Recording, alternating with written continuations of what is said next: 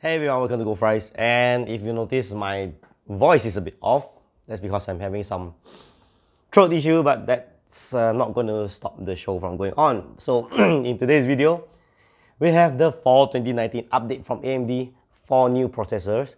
First being the Ryzen 9 3950X, second being the Athlon 300G, 3000G that is, and the third and fourth will be the Threadripper 3960X and 3970X. Now let's begin with the 3, 9, 3, uh, Ryzen 9 3950X. 16 cores, 32 threads, 3.5 GHz base, 4.7 GHz boost. TDP rated at 105 watts, but AMD recommends at least a 280 mm radiator AIO to cool it. And as always, it's compared to the Core i9 9900K, and it retails at 749 US. Next up, we have the Athlon 3000G.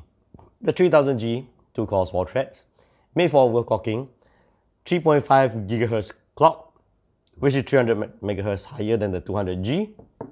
Comes with Vega 3 as well. That is 100 MHz higher clock than the 200GE. It has a rated at 35 watt TDP, available starting November 19 at 49 US. Lastly, we have the Threadripper. So some of you have seen it on Tom's Hire, whatever, whatever place about the leak. Those numbers are wrong, so let me give you the correct numbers on screen right now. The 3960X retails at 1,399 US, 24 cores, 48 threads, 3.8 GHz base, 4.5 GHz boost, and 148 meg megabytes cache. The 3970X, on the other hand, retails at 1,999 US, which is pretty much 2,000. 32 cores, 64 thread, 3.4, 3.7 GHz base, and 4.5 GHz boost, 144 megabytes cache. Both are on the new TRX 40 socket that has 88 PCIe 4.0 lanes, of which 72 are available while the rest are dedicated to the chipset. Alright, so that's it for the update from AMD for their fall 2019 releases four new processors. Which one are you interested in? I think most of you will be interested in 3950X and the Threadrippers. I, for one, am interested in the 3000G because that's um, the only one I can afford.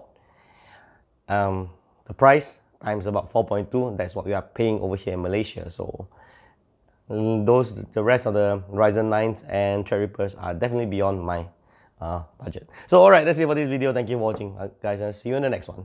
Bye-bye.